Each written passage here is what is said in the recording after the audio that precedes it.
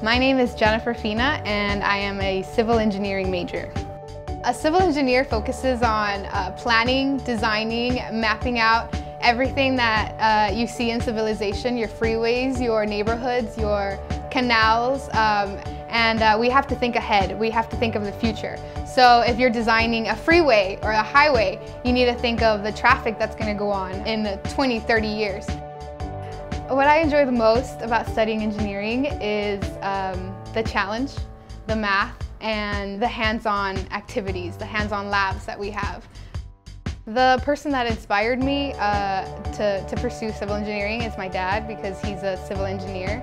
And so growing up, I always saw him um, working at home and uh, doing all of his uh, projects. And uh, I thought that was really interesting.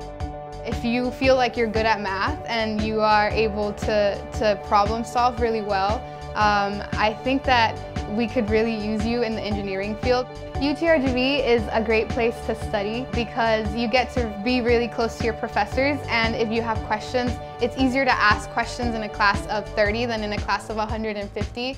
So it's really awesome just to be here and to experience that uh, one-on-one -on -one relationship with professors and I feel like there's a lot more growth in that and you get to learn a lot more in your classes. Um, so that's why I love UTRGV.